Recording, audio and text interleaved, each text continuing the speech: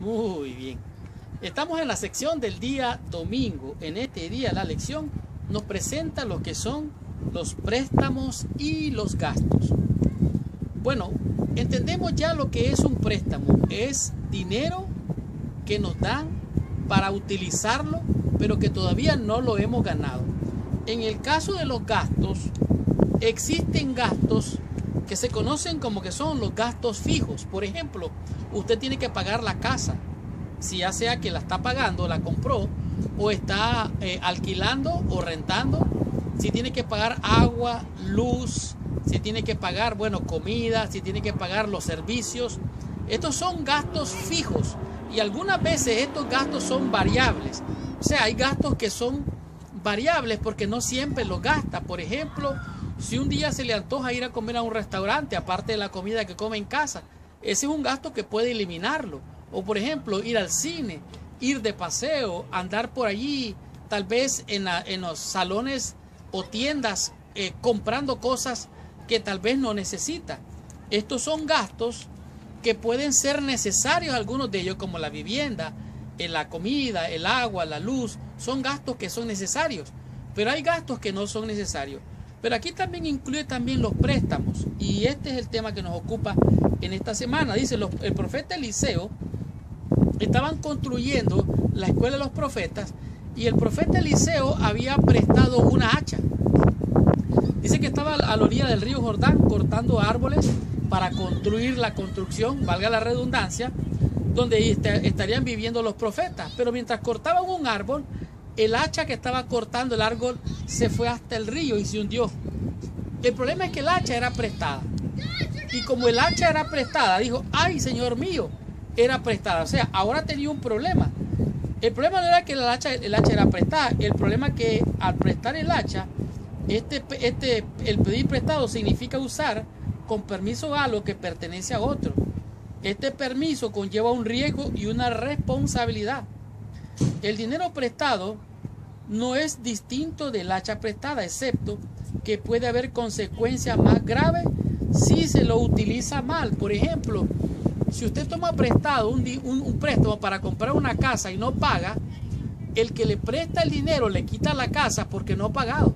O le pueden quitar el carro, le pueden cortar la luz, le pueden cortar el agua si no paga. Entonces, el préstamo conlleva un riesgo. Dice, la única razón por la que pedimos prestado es para gastarlo. Eh, tiene un riesgo financiero. El problema es presumir que tenemos la capacidad de devolver y que no habrá sorpresas financieras en el futuro. Pedir dinero prestado siempre conlleva un riesgo. Entonces hágase una pregunta.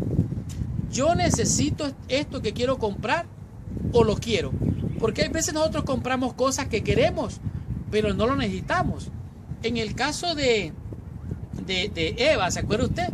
Dice que lo vio, dijo lo quiero y lo tomó. No lo necesitaba realmente.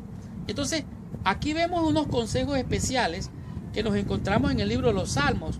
Por ejemplo, en Salmos capítulo 37, el verso, ah, vamos a ver, Salmos 37, en el versículo 21, nos dice así, el impío toma prestado y no paga. O sea, la persona que es impía presta dinero y no paga, dice aquí. Mas el justo tiene misericordia y da. Cuando usted ve a una persona en necesidad, no vaya y le preste dinero. Mejor si tiene algo para regalarle, diga, mira, te regalo esto para que te ayudes.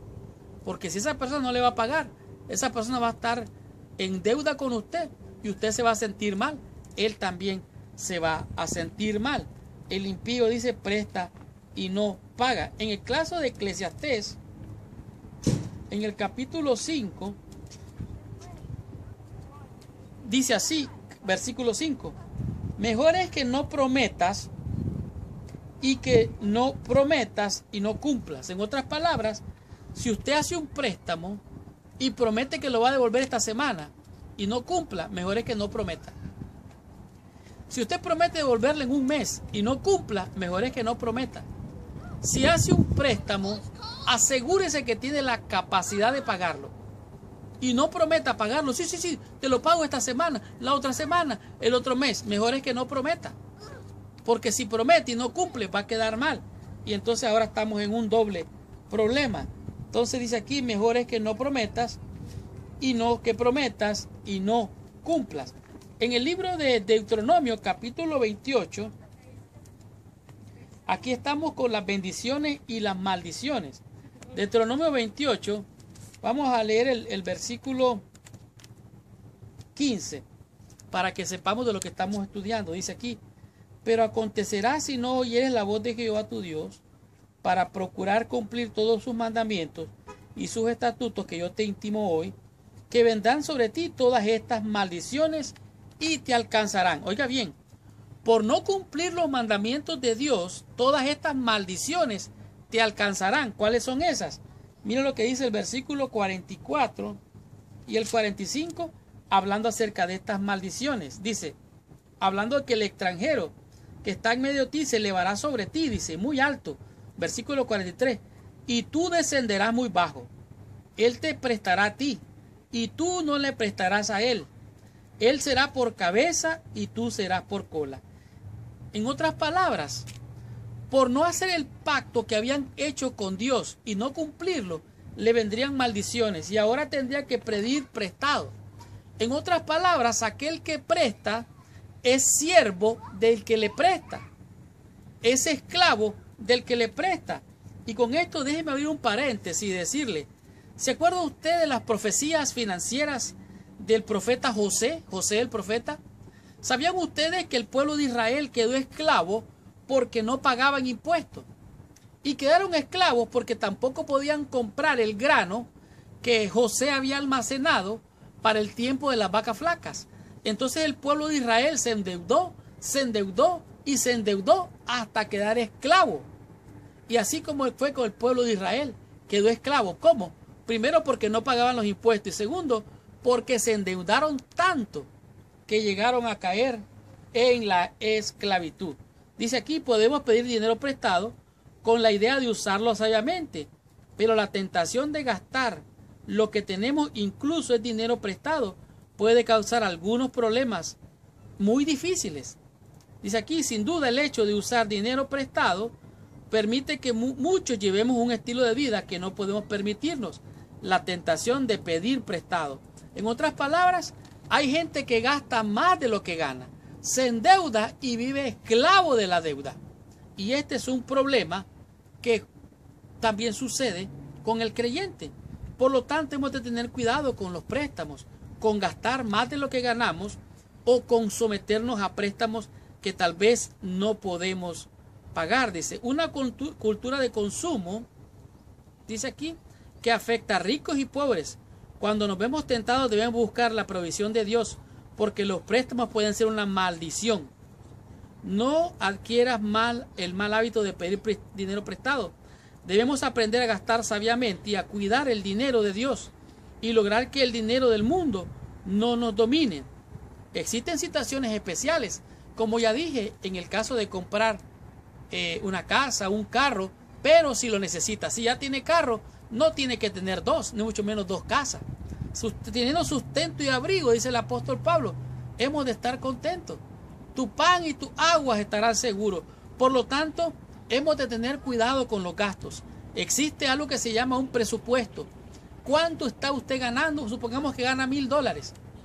El 50 o el 55% de sus ingresos tiene que ser destinado para los gastos de la casa, el agua, la luz, el teléfono, y todos los servicios, el 55%.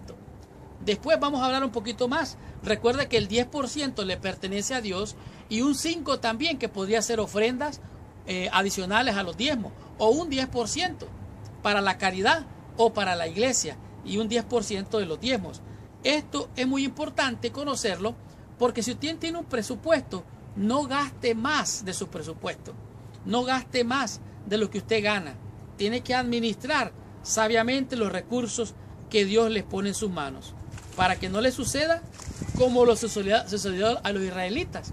Se endeudaron tanto que llegaron a caer esclavos, llegaron a ser siervos por haber gastado más, por haberse endeudado más. de sus capacidades.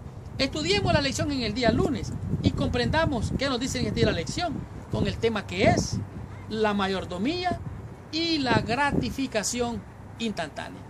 ¿Qué nos dice la lección? Estudiemos la lección, recibamos nuestra bendición.